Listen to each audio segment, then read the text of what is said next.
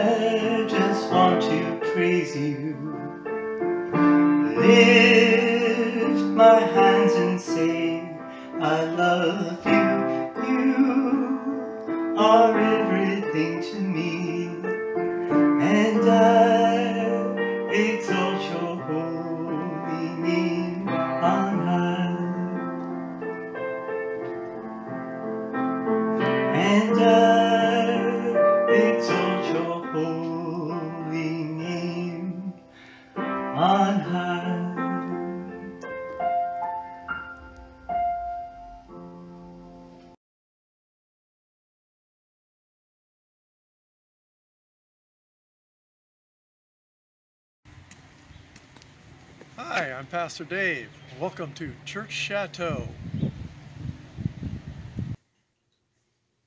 Today is Easter, the day we celebrate the death and resurrection of our Lord and Savior Jesus Christ.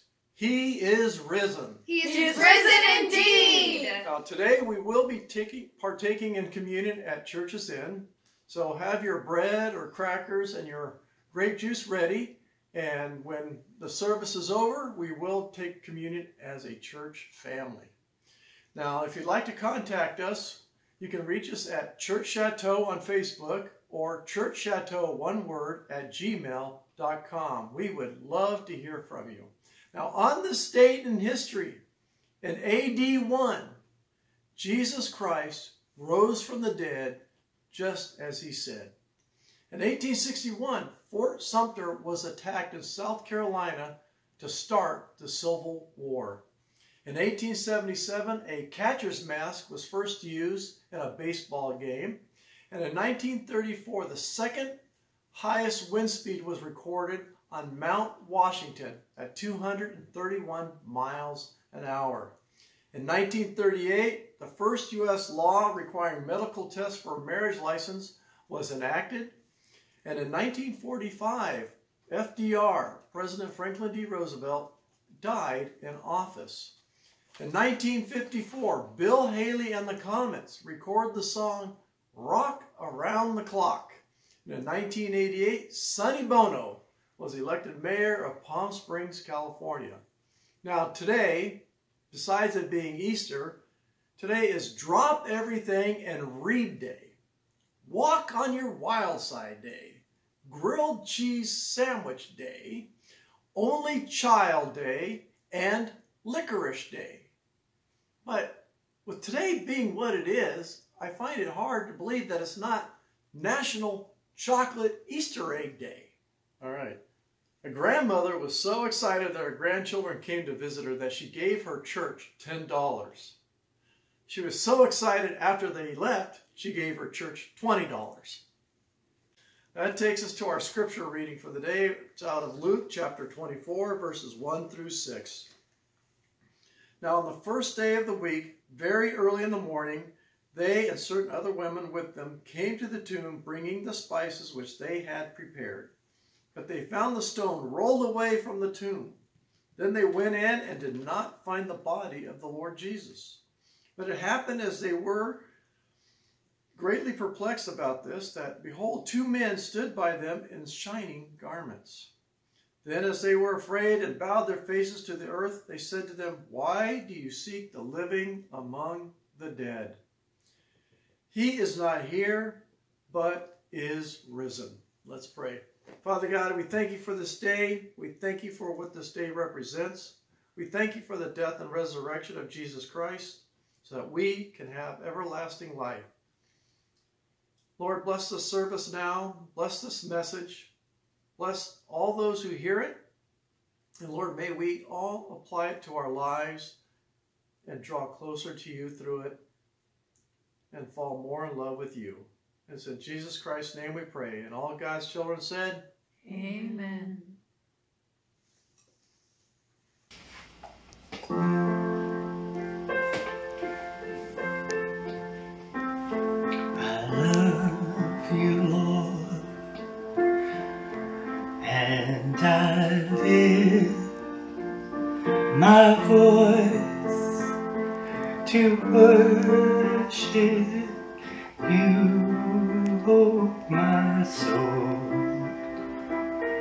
Rejoice, take joy, my King,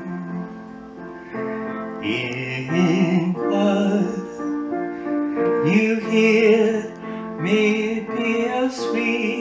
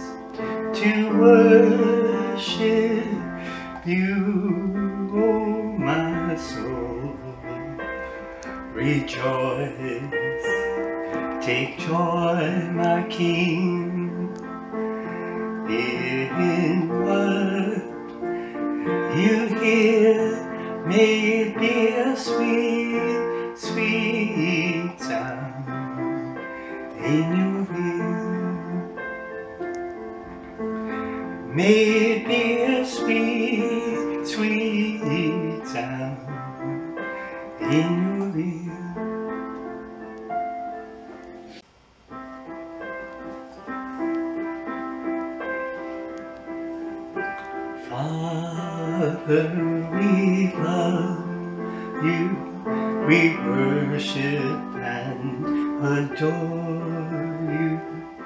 Glorify thy name in all the earth.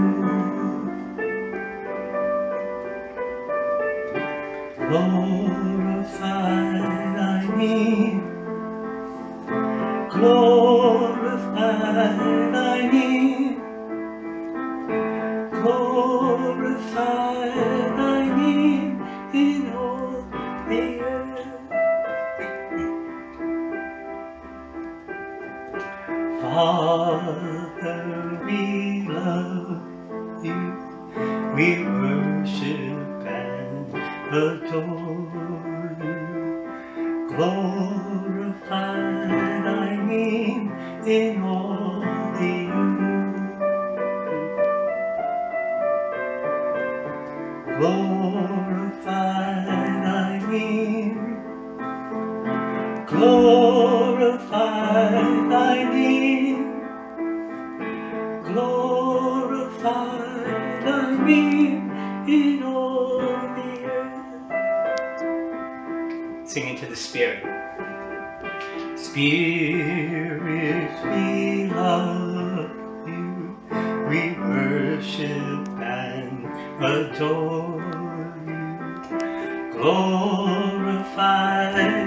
name in all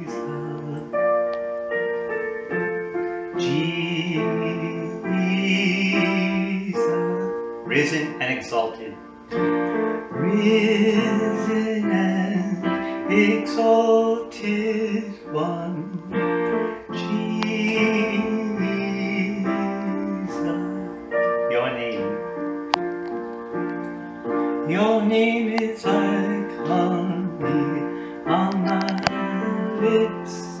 Your spirit like water to my soul. Your word is a lamp unto my feet.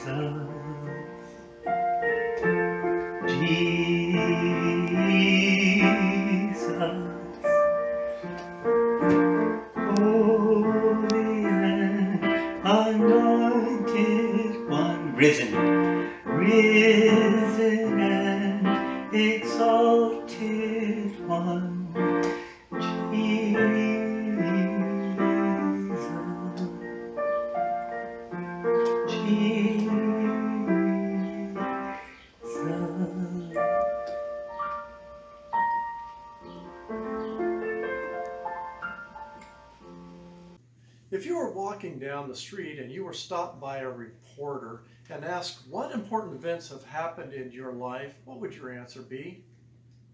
Maybe you would answer, oh, when I got married, when I graduated from school, or when you had children. And what if that reporter followed up with another question by asking, what life changing experiences have you had in your life? Maybe you'd say, oh, when I got a new job, or when I moved to a new city, or I had a health crisis. The answers to both these questions can be many. We all have had important events in our lives, along with life changing circumstances. But what if a reporter was able to ask mankind, and not just mankind, but all of creation? If he was able to ask them those two questions, what would they answer? Well, there is really only one answer they could give for both questions, and that would be the death and resurrection of Jesus Christ. Last week's lesson was on the Passion Week. And if you remember, the word passion comes from the Latin root word patior, which means to suffer, to suffer. Christ's week, this Passion Week, started off great with him riding into Jerusalem on that donkey and everybody celebrating. But after that, the wheels kind of came off. His week became a week of betrayal, uh, crucified him, people deserted him, they lied about him, he was left alone to stand that trial. And then he died on the cross and he shed the blood for the remission of sins, that whoever would believe in him would not perish but have everlasting life. Now, how can this one event in history, a man dying on a cross, become so important? How can this tragedy become the life changing experience in mankind and all of creation? For the answers, open your Bibles to the Gospel of Mark, chapter 16. If you have your Bibles, open up to Gospel of Mark, chapter 16. We're going to be looking at verses 1 through 8. Now, when the Sabbath was past, Mary Magdalene, Mary the mother of James and Salome, bought spices that they might come and anoint him. Very early in the morning on the first day of the week, they came to the tomb when the sun had risen. And they said among themselves, Who will roll away the stone from the door of the tomb for us? But when they looked up, they saw that the stone had been rolled away, for it was very large. And entering the tomb, they saw a young man clothed in a long white robe, sitting on the right side, and they were alarmed.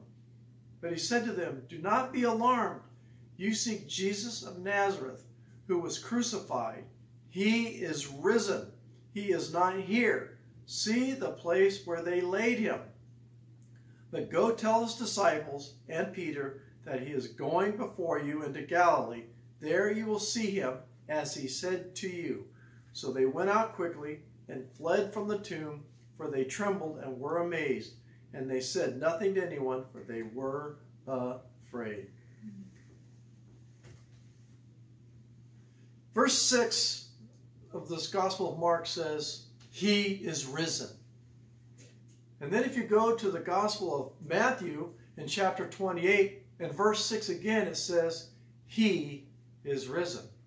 And then if you go to the Gospel of Luke, chapter 24, you guessed it, verse 6 again says, He has risen.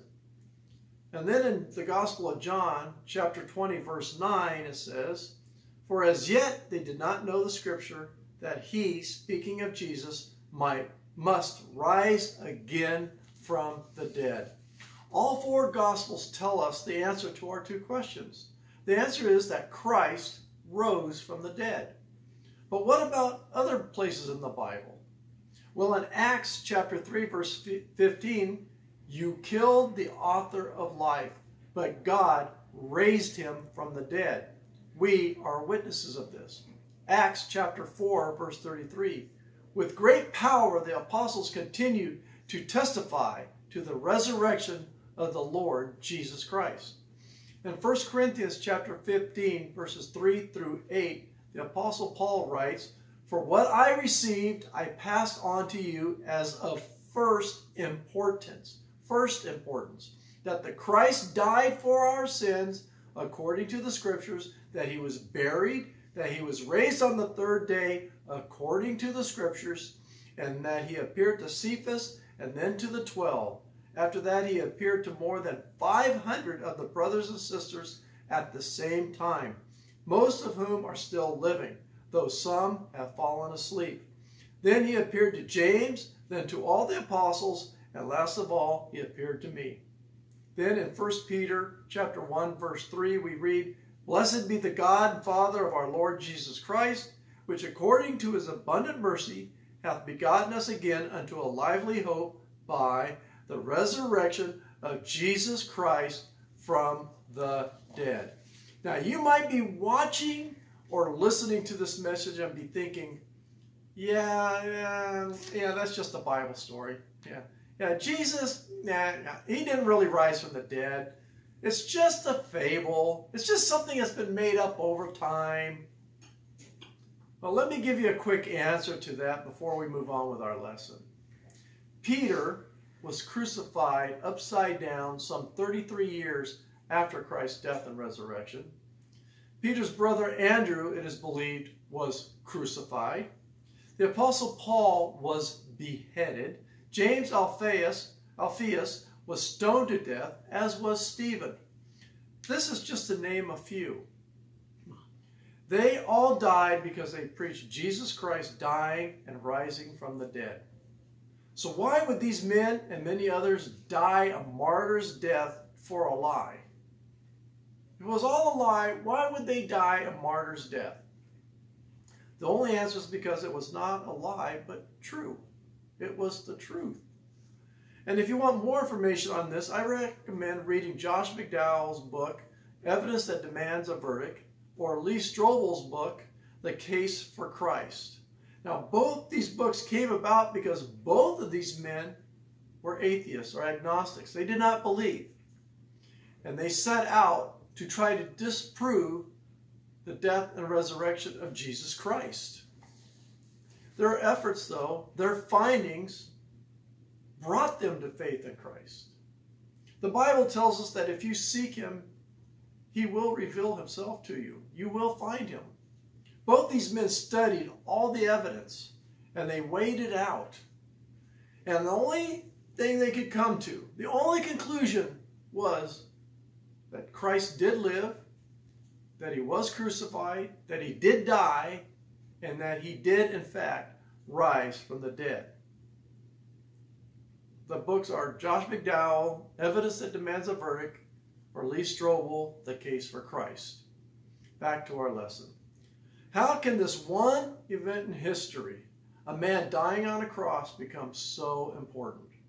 How can this tragedy become the life-changing experience for us, mankind, and all of creation?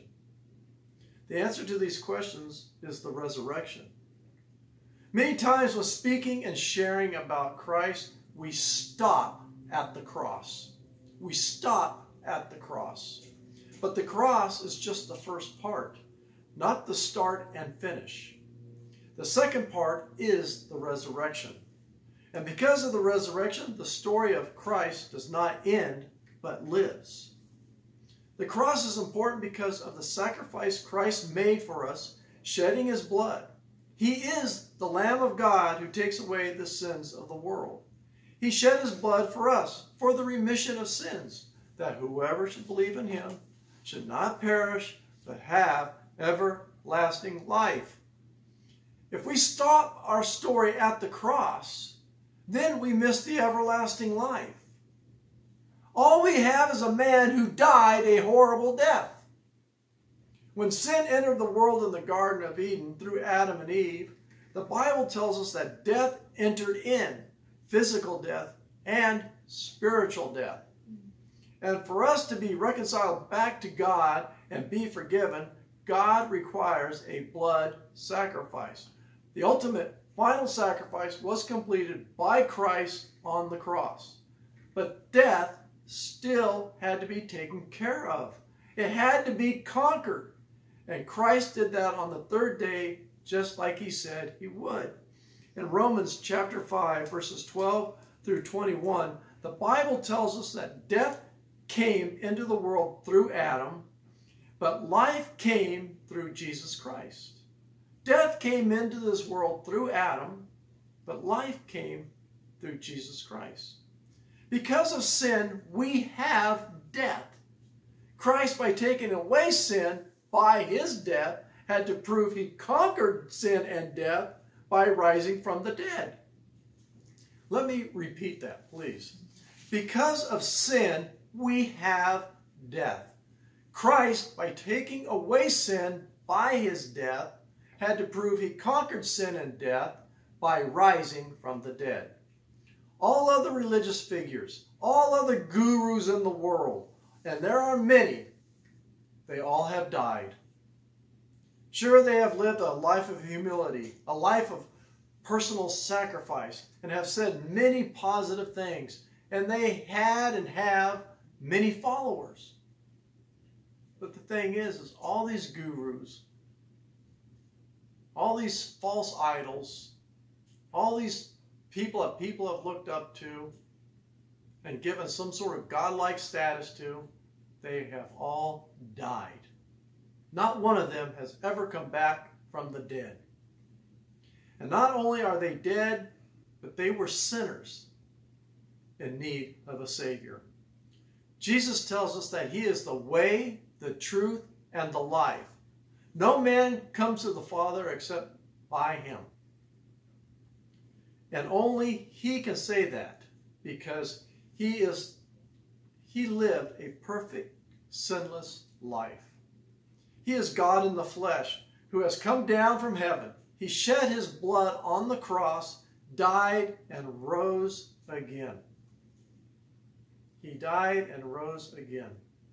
Now, in the Gospels, in the resurrection stories in Mark, the angels tell the women, Go and tell the disciples and Peter.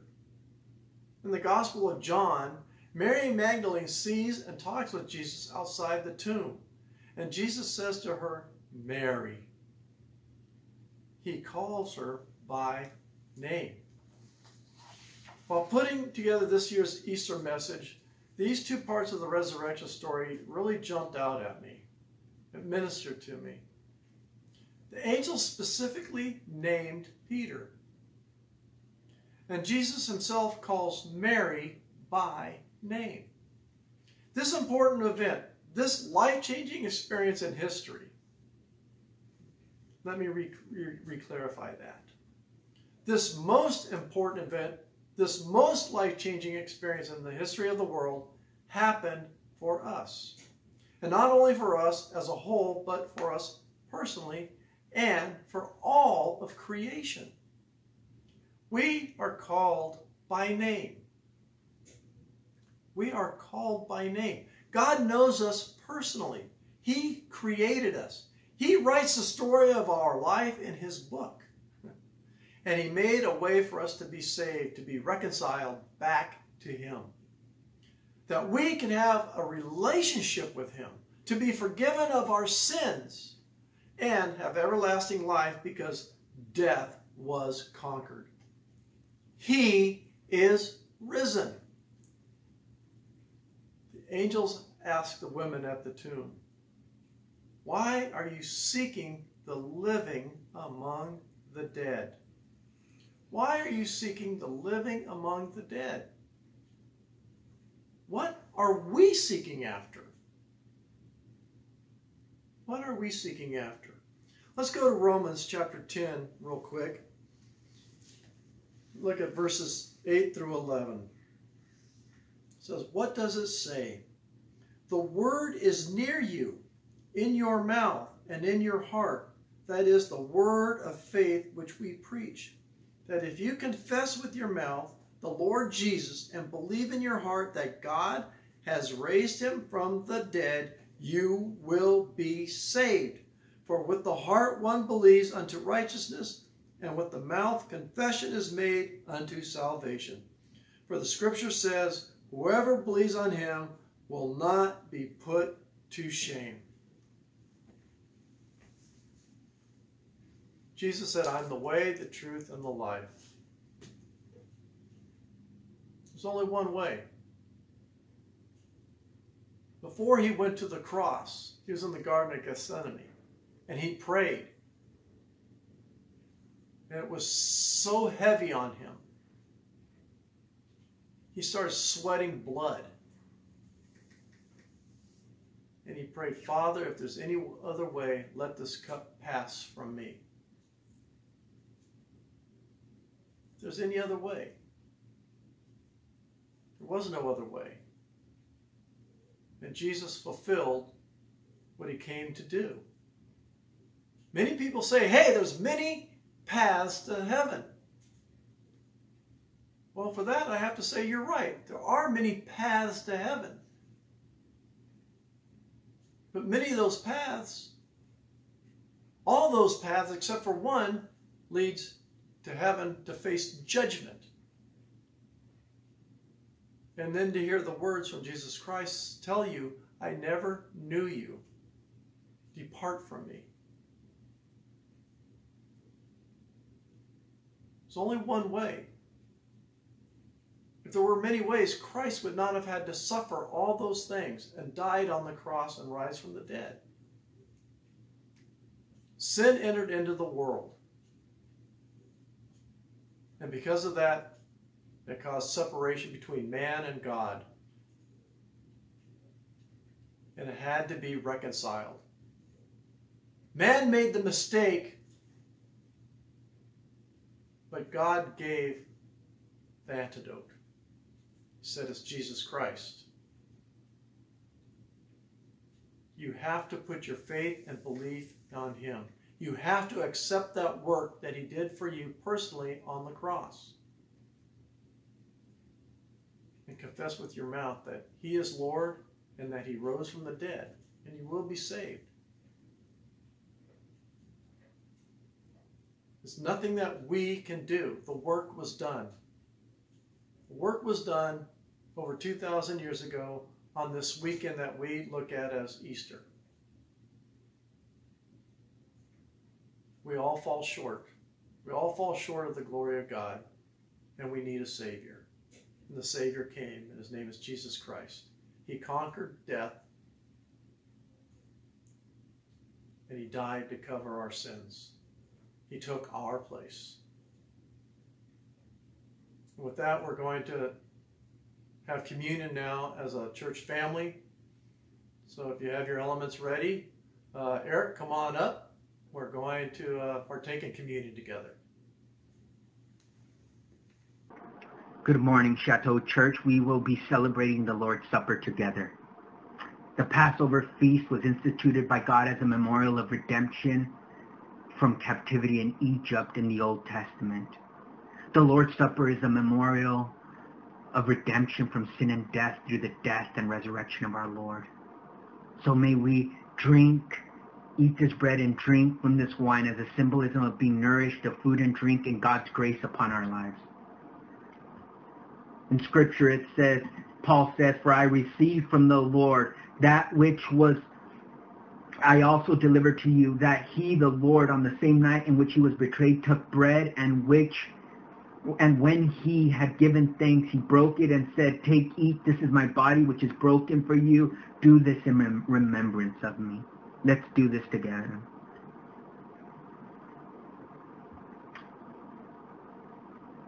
In the same manner, he also took the cup after supper, saying, This cup is the new covenant in my blood. This do as often as you drink it in remembrance of me. Let's take this church together. For as often as you eat this bread and drink this cup, you proclaim the Lord's death till he comes. Let's look to his return. Let's pray, church.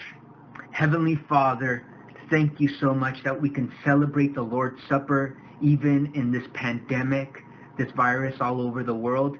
Lord, that will not stop your gospel. It will not stop from the church celebrating and rejoicing and participating in the Lord's Supper. We know that we are saved by grace through faith. And Lord, we can celebrate and receive these elements and be nourished and grow in the grace and the knowledge of our Lord and Savior Jesus Christ. May we rejoice, Lord, in this time. May we be a people that love God. In Jesus' glorious name, amen. A resurrection song, Alive, Alive.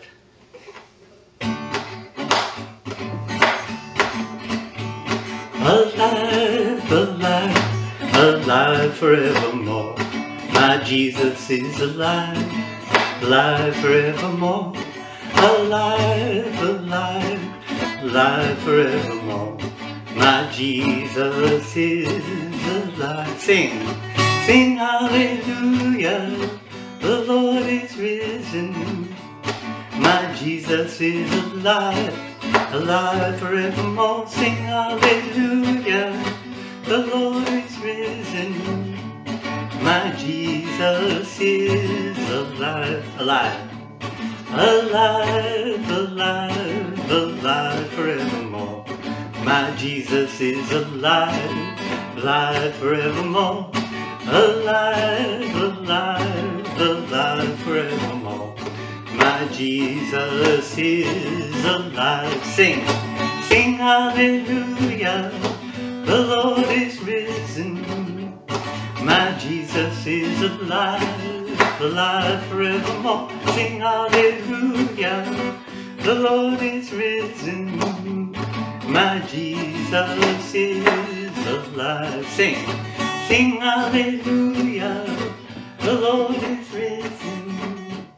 My Jesus is alive, alive forevermore. Sing hallelujah, the Lord is risen.